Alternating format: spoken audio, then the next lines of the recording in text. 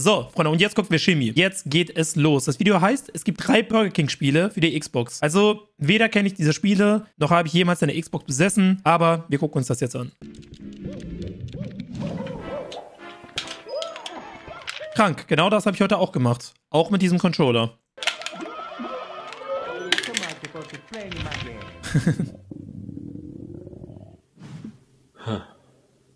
ich verspüre. War das gerade etwa ein BLJ?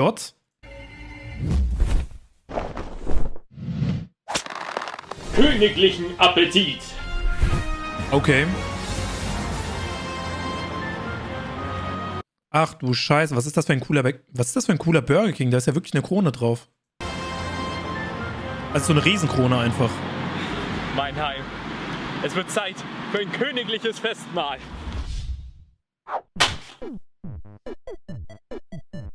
Bap, bap, bap. Schön, schön. Ich bin Fun Fact, diese Musik eben war aus Earthbound. Ich erfreut darüber, mir nun jenes majestätische Gericht einverleiben zu dürfen. Ach du Scheiße. Wo ist der Aber irgendwie wäre das geil, oder? Wenn ihr einfach Videospiele dazu bekommt. fucking Kassenzettel, Alter? Burger King. Ich muss wirklich niemandem mehr erklären, was das ist, oder? Ich bezweifle mal ganz stark, dass irgendwer von euch so dermaßen hinterm Mond lebt, dass er noch nie von einer der größten Fastfood-Ketten der Welt gehört hat. Keine Ahnung, also ich kenne nur Hans zum Glück. Was ist dieses Burger King? Boah, was ein Hurensohn. Daher bin ich mir sicher, dass sobald dieses Logo dieses Logo erscheint, wir kollektiv an dieselbe Sache denken müssen, wofür man Burger, Burger, King eben Pommes. kennt. Videospiele. Drei Stück für die Xbox. Sneaking, Pocket Bike Racer und Big Big Bomb. Warte mal, was? Hey Jungs, habt ihr Lust auf Okay, warte mal, was? Einen Augenblick. Also das assoziiere ich ja noch mit Burger King, aber die anderen Spiele, Sneaking, ja doch, das ergibt Sinn. Pocket Bike Racer? Ja. Racer und Big Big Bomben? Hey Jungs, habt ihr Lust auf eine Runde Big Bomben? Das sind Ich bin drei Gamer. komplett Wir originelle Spiele, die im Jahre 2006 in Form der King Games Trilogie von Burger King höchstpersönlich in Auftrag gegeben und schließlich veröffentlicht wurden. Eigentlich ganz cool, aber wofür das Warte mal, was ist dieser King? Hat er das mit VR-Shit gemacht? Ganze? Nun ja, ihr müsst verstehen, Burger King hat's nicht immer leicht. Die ganze Zeit im Schatten von McDonald's zu stehen, immer damit verglichen zu werden, das Wie gut ist bitteschön dieses Video? Also wie gut ist das bitteschön gemacht? Der hat, der, hat, der hat das doch mit der VR-Brille gemacht, oder? Das ist doch VR-Chat. Tut schon weh. Eigentlich haben Leute doch Angst vor Clowns, aber trotzdem meiden sie eher den König? Wo macht das Sinn? Egal wo der König belegter Brötchen auch hinblickt, überall schneidet er schlechter ab als sein Konkurrent im Clownskostüm. Und will er sich mal mit guten Inhalten ablenken, verfolgt ihn selbst da dieses gelbe Riesen-M. Doch dann fällt es ihm auf. Kinder. McDonald's zielt ihre Werbung vor allem auf Kinder ab. Die Jugendlichen werden überhaupt nicht beachtet. Die Jugend, das ist es. Ich mache einfach Werbung für Jugendliche. Okay, aber Du bist cool, wenn du bei Burger King isst. Und keine acht Jahre alt. was finden Sonst die Kids denn McDonald's. heutzutage cool und hip? fragte sich der König. Ich weiß. Videospiele. Drei Stück für die Xbox. Ja, Burger King hat ihre damalige Werbekampagne auf Videospiele fokussiert, weil sie sich damit An sich ist es eine coole Idee, aber ich kann mir sehr gut vorstellen, dass die Spiele absoluter Trash sind. der Jugend annähern wollten. Was 2006 anscheinend allesamt Gamer waren. Aber diese Spiele müssen Alle. auch erstmal erstellt werden, also brauchen wir zuallererst ein geeignetes Entwicklerstudio dafür. Äh, nö. KB, auch nicht. Das ist. Das ist perfekt! Ich habe extra die Credits beider Projekte miteinander verglichen und kann euch somit haushoch bestätigen, dass mindestens zwei Personen, die für den 3D-Plattformer Glover verantwortlich gewesen sind, auch Teil von Blitzgame Studios während der Burger King Trilogie waren. Und während iCarly für die Nintendo Wii. Überlass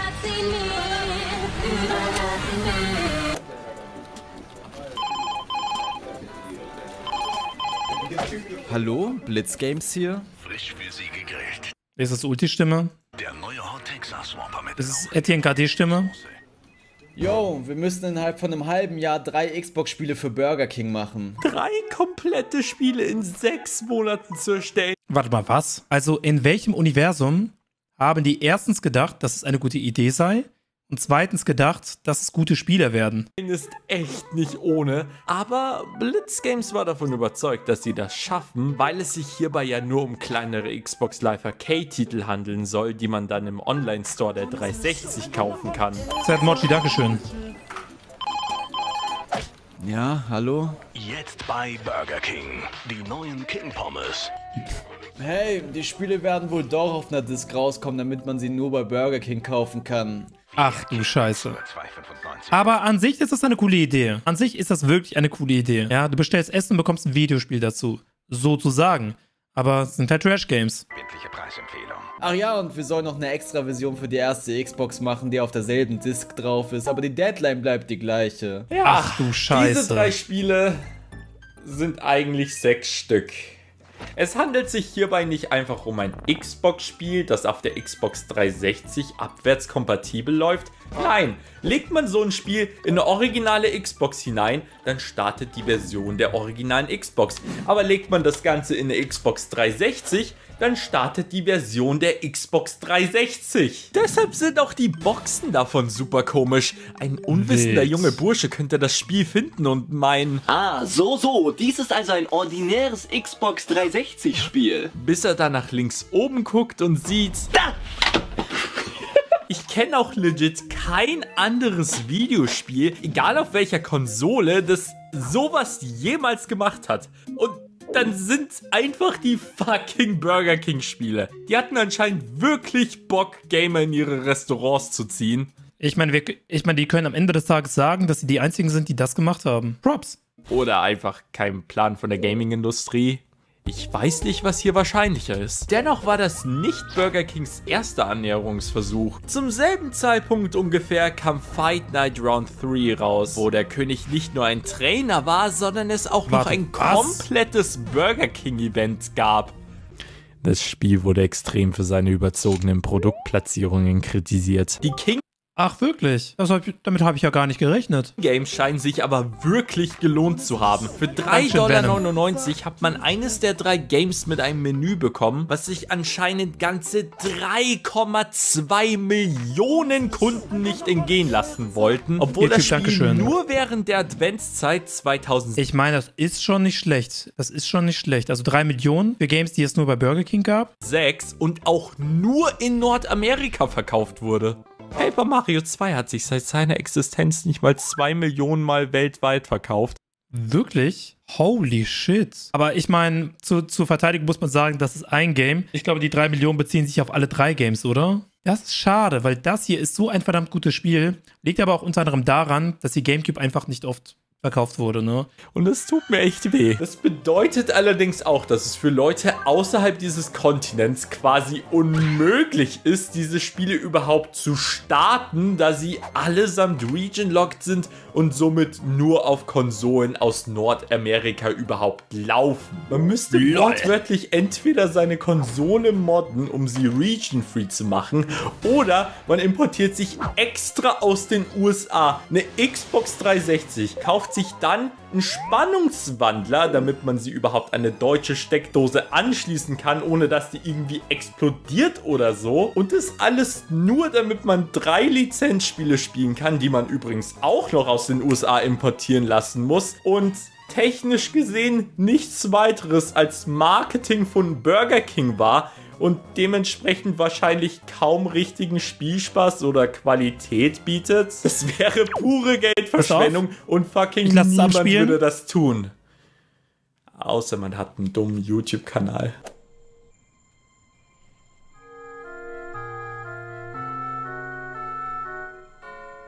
Dieser maskierte Schwerverbrecher ist momentan auf freiem Fuß. Haben Sie ihn zufällig gesehen?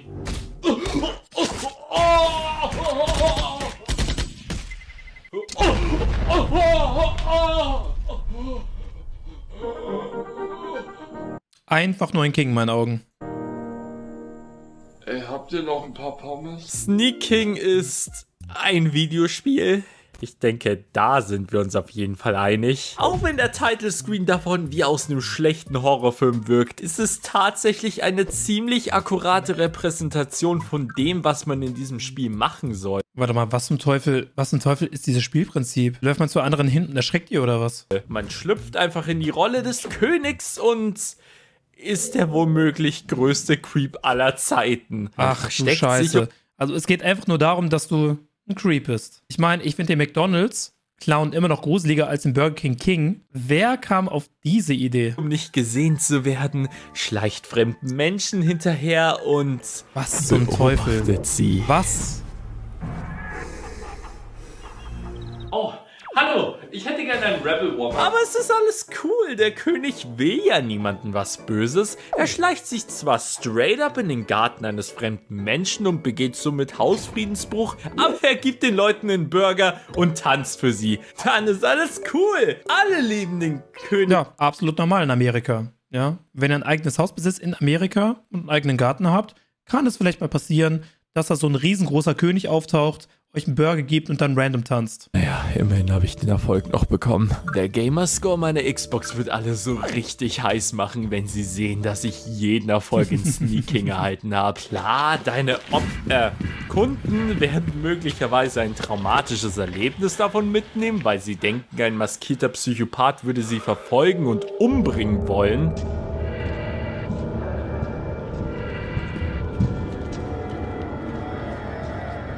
Wenn er aber den Burger Das ist ja so geil gemacht, oder? Also jetzt mal ohne Spaß, wie gut ist dieses Video? Mit diesem VR-Chat King, aber im Real Life. auspackt.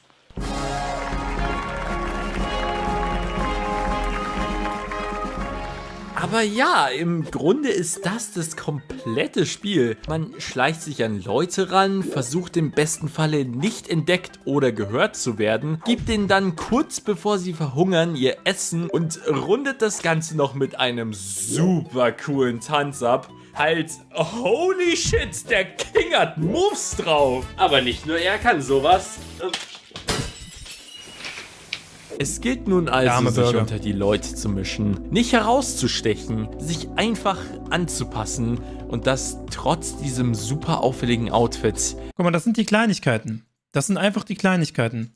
Ihr seht, warte, Sich einfach der Typ hier unten gehört zum Video, aber nicht der VR-Chat King, der da steht. Aber jetzt passt mal auf, achtet mal auf den Kopf des Typen hier. anzupassen. Habt ihr das gesehen? Obwohl der im Video ist und der König nicht wirklich, also bei diesem Stock-Footage-Video, ähm, hat Shimtex sich die Mühe gemacht, äh, den König hinter dem Kopf verschwinden zu lassen. Das ist total crazy. Also, das ist so eine Kleinigkeit, darauf hätten die, darauf hätten die meisten nicht mal geachtet. Und das trotz diesem super auffälligen Outfit. Ja, ich, ich glaube, ich hab's. Der perfekte Ort dafür liegt eigentlich auf der Hand. Ein. Videodesign.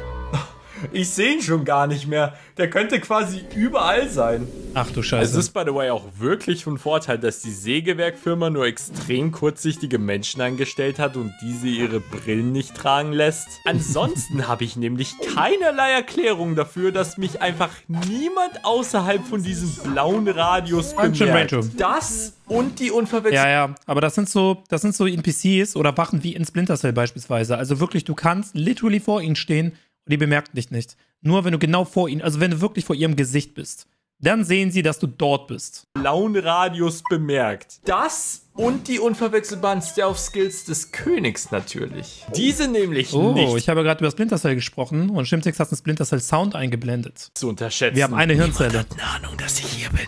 Keiner hat eine Ahnung. Ich bin faktisch gesehen unsichtbar. Timo, das machst du schon seit zwei Wochen. Also theoretisch, also wenn ich jetzt Shimtex wäre, ne? Ich weiß jetzt nicht, ob. äh, Shimtex hat, glaube ich, eine Freundin, oder? Aber jetzt, wenn, wenn er jetzt Single wäre. Das hier, ne? Das würde ich dann einfach screenshotten und als Profilbild auf Tinder nehmen. Ich glaube, die Matches würden nur so regnen.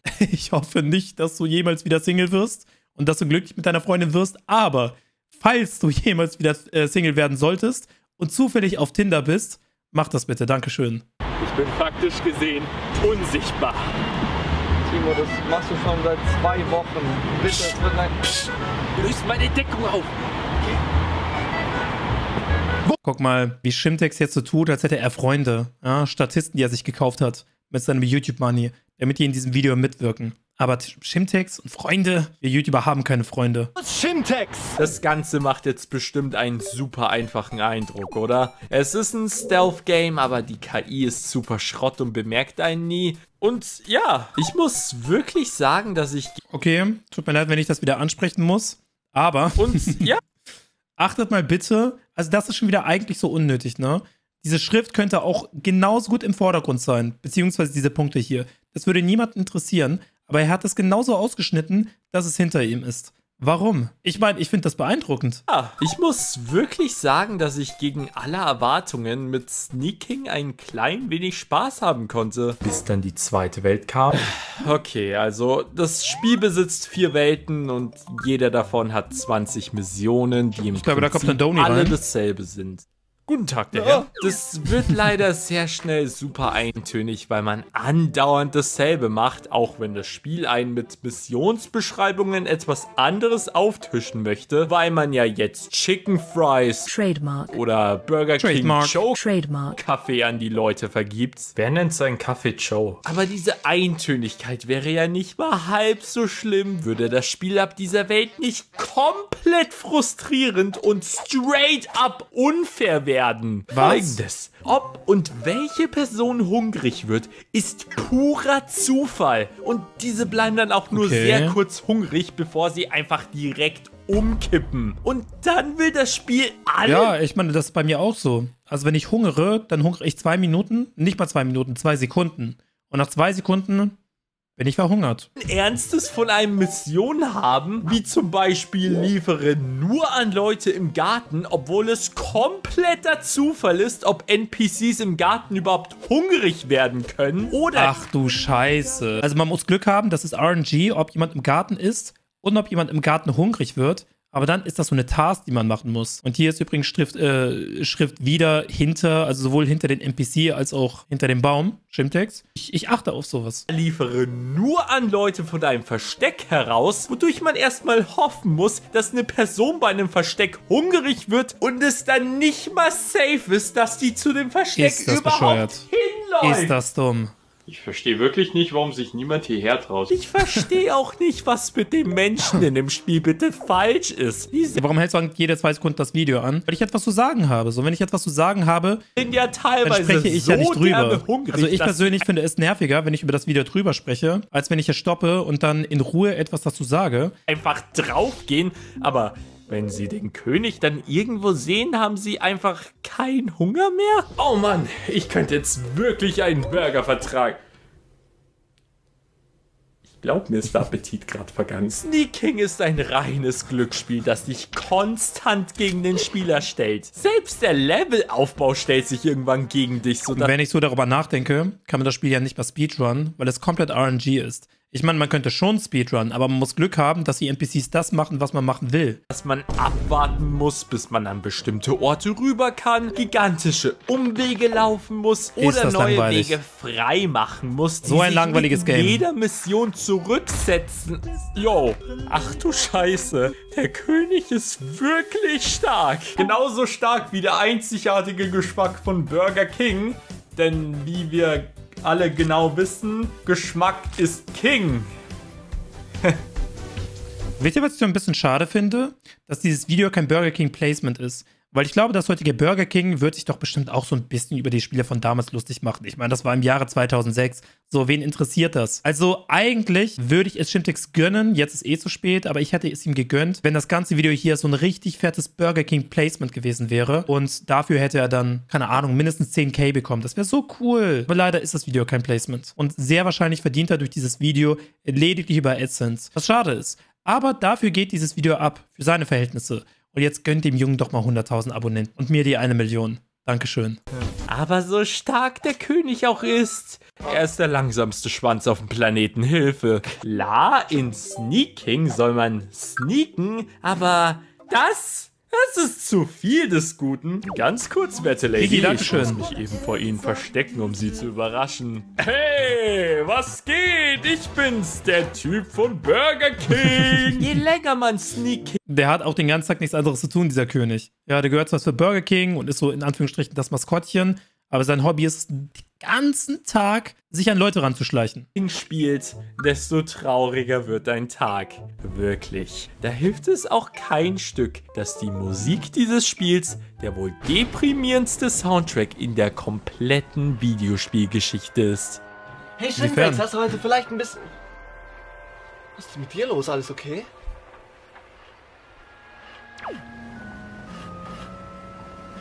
Das ist die Musik. Warum klingt das so traurig, bitteschön? Das klingt ja ultra traurig. Wozu?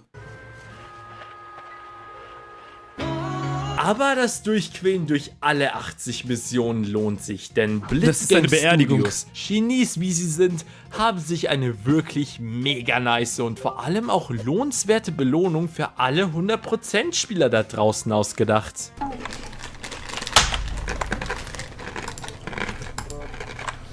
Oh, ja, das passt. Man kriegt einen schwarz eingefärbten Anzug. Er- ist legit einfach Ich meine, es sieht cool aus, aber es hat keine Texturen. Es wurde einfach alles eingeschwärzt. nur schwarz gefärbt. Das war's. Das war im Grunde dann auch schon das komplette Spiel.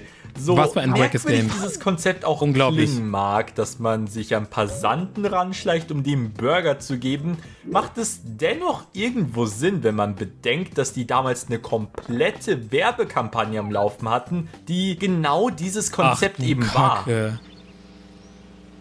Das ist ja so gruselig.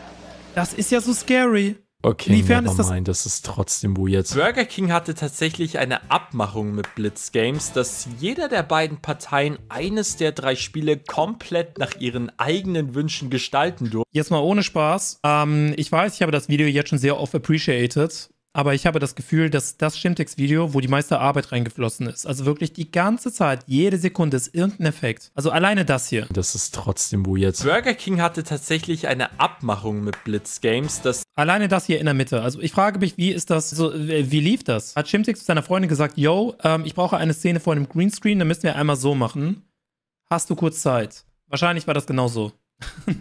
Jeder der beiden Parteien eines der drei Spiele komplett nach ihren eigenen Wünschen gestalten durfte und beim dritten Titel beide quasi eine Art Kompromiss schließen mussten. Burger King wollte mit ihrem Maskottchen andere Leute stalken. Es hatte einen wirklich netten Anfang und ein verdammt interessantes Konzept, wurde nur leider schrecklich umgesetzt.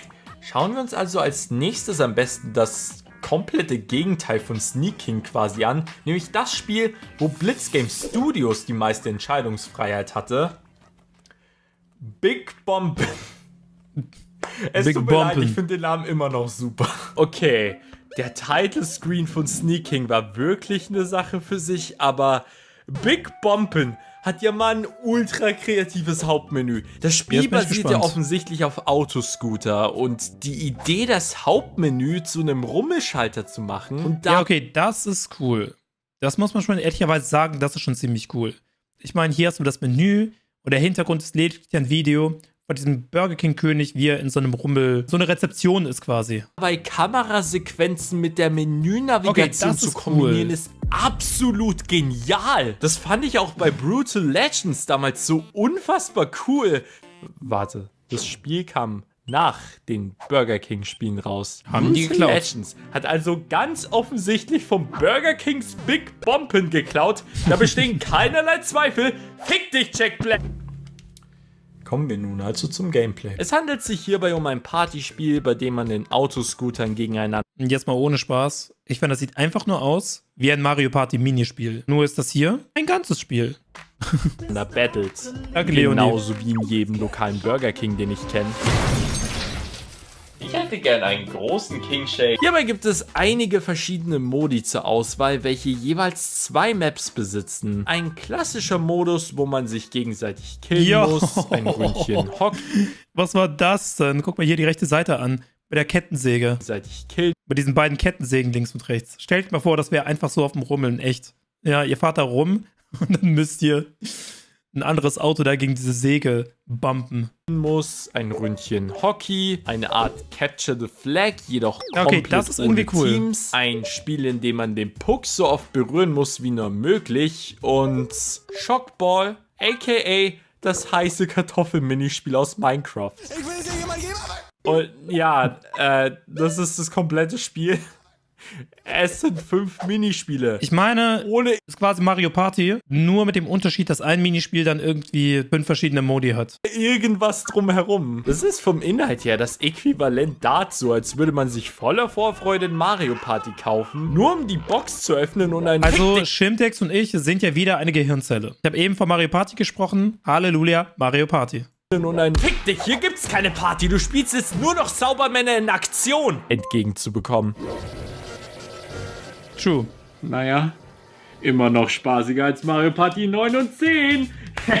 yeah. Aber, Aber true. wer weiß, es ist immerhin das Spiel, bei dem Blitz Games am meisten ihre Kreativität ausleben durften. Vielleicht sind diese fünf Minispiele ja so gut, dass man sie immer wieder aufs Neue spielen möchte. Nee.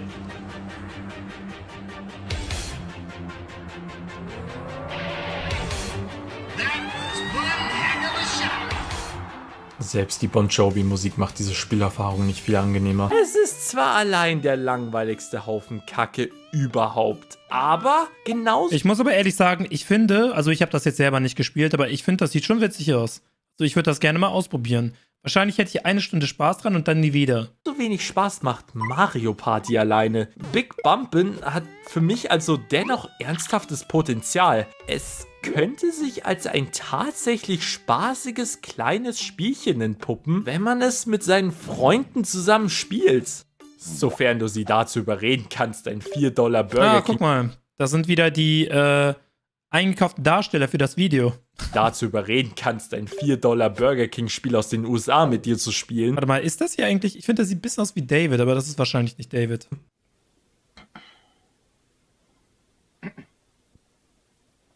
Hey Jungs, habt ihr vielleicht Lust auf eine Runde Big Bomb? Ich hab keine Lust, ich hab keine Lust. Du hast Nägel durch die Schenkel treiben, bevor ich das spiele, Alter. Ganz ehrlich. Nein. Für 50 Cent. Ja, meine Theorie hat sich Leonie, tatsächlich Dankeschön. bestätigt. Besonders Shockball und Hockey sind mit anderen Leuten erstaunlich gut und sogar spaßig. Klar, es Krank. ist absolut nichts Bahnbrechendes. Was man hier sieht, ist exakt das, was man bekommt. Aber für Ich glaube, jetzt mal ohne Spaß, ich glaube, dieses Game als Mobile-Spiel, als, als Mobile-Spiel für nebenbei, wäre ziemlich geil. Ja, also es muss kein richtiges Konsolenspiel sein und das kostet wahrscheinlich auch zu viel.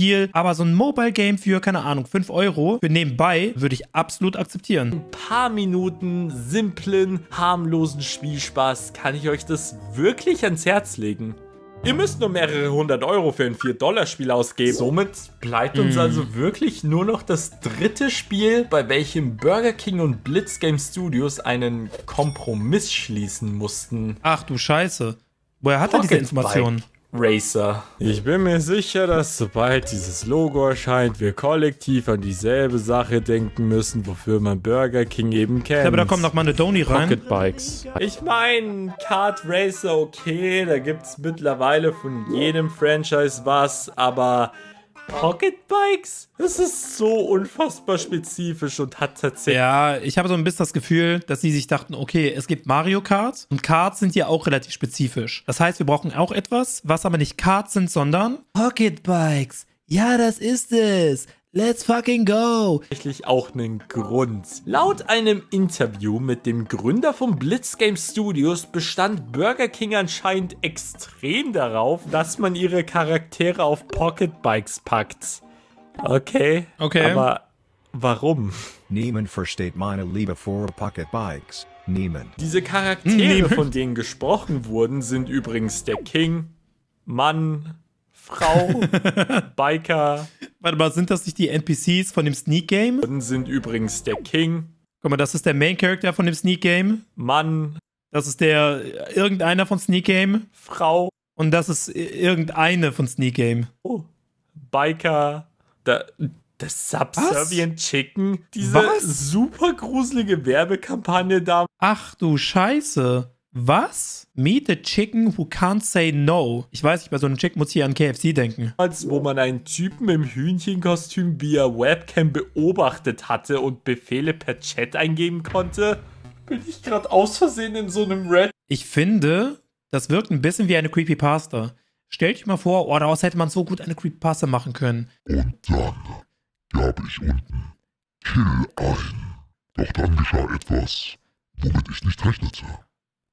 Er brachte wirklich jemanden um. Ja, nee, der wirkt sympathisch. Den mögen die Kids. Lasst ihn mal auf ein Pocketbike packen. Zur Auswahl steht aber außerdem fucking Brooke Burke, eine Schauspielerin, welche anscheinend den König vom Burger King gedatet hat.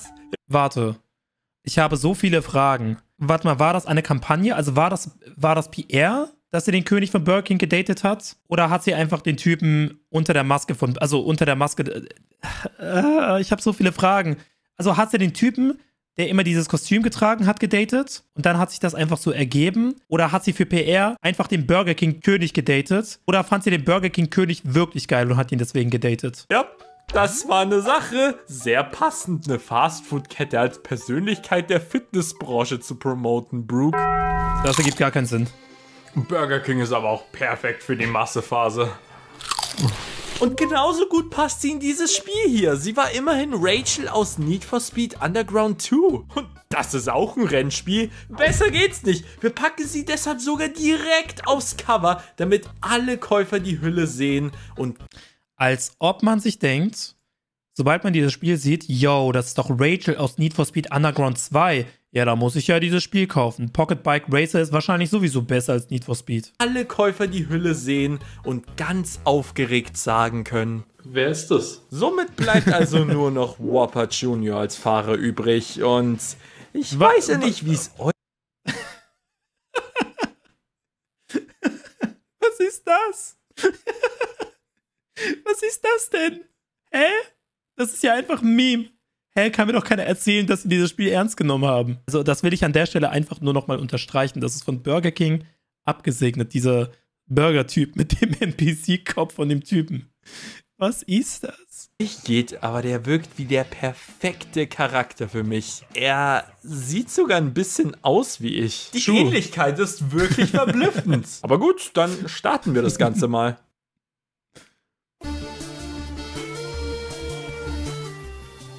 Ja, das ganze Budget ging für Brooke Burke drauf. Pocket Bike Racer merke ist ein. Funracer mit dem sagenumwobenen Inhalt von fünf Strecken. Cool. Bei den Tracks handelt es sich um eine Nachbarschaft, den Also, das sind schon mal mehr Spielfelder als bei Mario Party. Super Mario Party hieß das. Als von Super Mario Party. Schlossgarten des Königs, eine Baustelle, ein Burger King Traumland und ein Parkplatz vor einem Burger King. Das war das letzte Mal, dass ich zu Burger King war. Wisst ihr, was richtig geil bei einem Funracer ist? Nie zu checken, wo man gerade hinfahren muss, um dann Oh tausendmal in eine hasse das. Sackgasse zu fahren. Im Vergleich, Mario Kart Strecken sind relativ simpel und haben so gesehen die Philosophie der 2D Marios in das Streckendesign übernommen, da es nur einen Weg ins Ziel gibt mit ein paar Ey, ohne Witz, es gab damals Mohun Kart. Keine Ahnung, ob ihr das kennt. Ich habe das als Kind auf PC gehabt. Äh, das war so ein Game, das gab es bei Computerbildspiele oder so. Und es gab eine Strecke, ich schwöre, da siehst du einfach nicht, wo du hin musst. Du siehst einfach nicht, wo du hin musst. Es wird nicht ausgeschildert, das sind keine Pfeile. Es ist einfach unfassbar verwirrend und ich hasse Racer, wo das nicht klar und deutlich, also wo man nicht von Anfang an checkt, wo man genau hinfahren muss. offensichtlichen kleinen Abkürzungen. Burger King war anscheinend ein riesen 2D-Sonic-Fan, denn was ist das für eine Karte? Das ist so schon verwirrend genug, aber die fuck? gefühlt 100 alternativen Wege, die es gibt, sind noch nicht Was? mal aufgezeichnet. Selbst die Computergegner wissen super oft nicht, wo sie hin müssen und stecken stellenweise sogar einfach fest. Was? Ist irgendwie ein ganz gutes Gefühl zu wissen, dass die KI mindestens genauso dumm ist wie man selbst. Mit der Ausnahme von einem fucking Charakter natürlich. Okay, wer? Wer Aber jetzt mal ohne Spaß, ich verstehe nicht warum. Ich meine, klar, die Strecken sind ein bisschen verwirrend, aber dass die KI nicht mal checkt, wo die hin muss, das ergibt ja gar keinen Sinn. Die stellt man doch als Spieleentwickler selber ein. dachte, dass es eine gute Idee ist, dem König im Spiel OP zu machen, weil er das Maskottchen ist? Guckt euch das an! Hä? Ich versuche legit mein Bestes, aber der fährt einfach Dieser König ist einfach ein Selbstdarsteller. Ja, der weiß einfach, die Sache ist halt die, ne? Ich erkläre euch jetzt die Lore von dem Spiel. Der König, ja, der hat das Ganze organisiert Und er weiß, dass er tausendmal heftiger ist als die anderen. Er hat nur Leute eingeladen, wo er weiß, dass die scheiße sind, einfach nur, damit er selbst darstellerisch zeigen kann, wie heftig er ist. Ja, das ist die Lore. Grundlegend schneller als alle anderen. Außer man nimmt ihn natürlich selbst. Dann ist das Spiel Ja, wieder dann ist- dann ist man selber OP. einem diese Maps Das ist wieder Franzi, Dankeschön. konnten, bietet Pocket Bike Racer obendrauf noch drei weitere Spielmodi an, wovon der erste hier Battle Royale heißt. Battle Royale? Ich werd's nicht diesen Witz machen. Und wie zu erwarten handelt es sich hierbei um den Funracer üblichen Battle Mode, wie er auch in Mario Kart 8 vorhanden ist. In der Wii U Version. Kampfarenen? Nö, lass einfach mal die ganz normalen Strecken dafür Och, nutzen, die nö. überhaupt nicht dafür Ist das langweilig. sind. Mario hat von Burger King geklaut. Aber warte mal, hat nicht ein Mario Kart-Teil das genauso gemacht? Es gab doch irgendein Mario Kart-Teil, da sind die Battle-Arenen auch nicht wirklich Arenen, sondern einfach nur diese Strecken. Der Modus danach, Ultimate Cone Trial, ist leider auch nicht viel interessanter. Man fährt einfach zwischen 20 Hütchen durch und wer das Mario als Kart Erster 8, ne? geschafft hat, hat gewonnen. Leider wack. sehr langweilig, aber der letzte verfügbare Modus macht mich verdammt neugierig. Hardcore Racing. Oh shit. Oh Junge. Vielleicht wird es so ein bisschen wie Mario Karts furiose Items, wo einfach alle Items viel zu OP sind und dadurch bin das ganze Rennen mega kaputt Okay, meine Prediction ist, dass es wahrscheinlich einfach nur das normale Rennen, nur mit einem kleinen Zusatz. chaotisch wird oder 200 CCM, dass man viel schneller als eigentlich gedacht ist. Vielleicht ist es ja auch was komplett eigenes. Es ist Fahren ohne Items. Aber hey, genau. Okay, okay, ich nehme alles zurück. Es ist nicht mit einem kleinen Zusatz, sondern mit einem kleinen Absatz. Genauso wenig Spaß macht Mario Kart alleine. Und sagt man überhaupt Absatz? Ich glaube, Absatz ist was anderes. Jetzt musst du deine Freunde nur noch dazu Samurai, Dankeschön. überreden, ein 4 Dollar Burger King Videospiel aus den USA mit dir zu spielen. Abzug. Ich meinte Abzug, nicht Absatz. Ein Euro.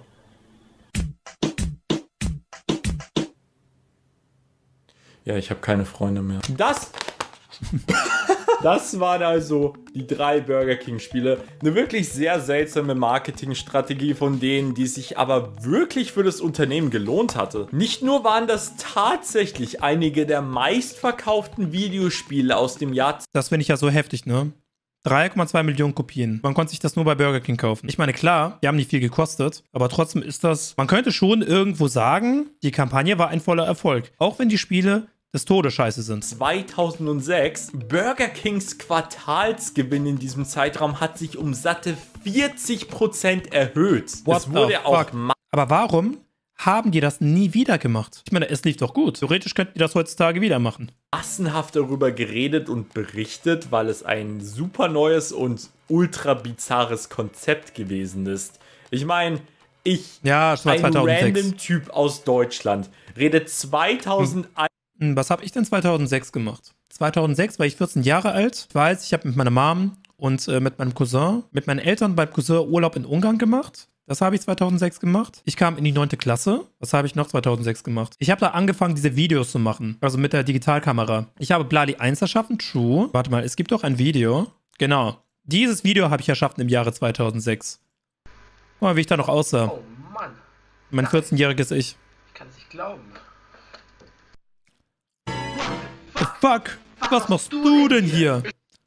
Wunderschön. Und äh, während ich dieses Video gemacht habe, wurden in Amerika diese Burger King Videospiele veröffentlicht. 21, also ganze 15 Jahre nach dem Release dieser Videospiele noch darüber, obwohl die bei uns nicht mal rausgekommen sind. Und wenn eine Werbekampagne sowas bewirken kann, dann war sie verdammt effektiv. Aber dennoch, mich dazu zu bringen, jetzt Man muss dazu aber auch sagen, die, die Leute wussten ja, die, die Leute wussten nicht, ob die Spiele gut sind oder nicht. Man konnte sich das nur bei Burger King kaufen. Die Leute waren super neugierig. Und ich glaube, ich wäre genauso neugierig gewesen. Ich, hab, ich hätte mir die Spiele auch geholt. künftig bei Burger King essen zu gehen?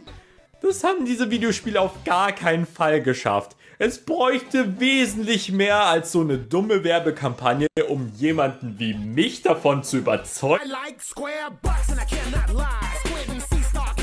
What the fuck? Was soll ich sagen? Ich feier halt Quadratärsche. Sehr geiles Video. Sehr, sehr geiles Video. Ich würde sogar sagen, das war bisher das beste Shimtex-Video, was er je gemacht hat. Ich habe nur ein bisschen die Sorge, also Shimtex wird ja von Video zu Video immer besser und ich hoffe, dass der Perfektionismus nicht so sehr kickt, dass er irgendwann, keine Ahnung, ein Burnout kriegt oder so. Aber er macht das schon. Sehr geile Videos. Natürlich ein Like von mir und ihr sollt euch das Video auch angucken, liken und Shimtex abonnieren, damit er endlich irgendwann mal die 100.000 Abonnenten hat. Denn er hat sie verdient.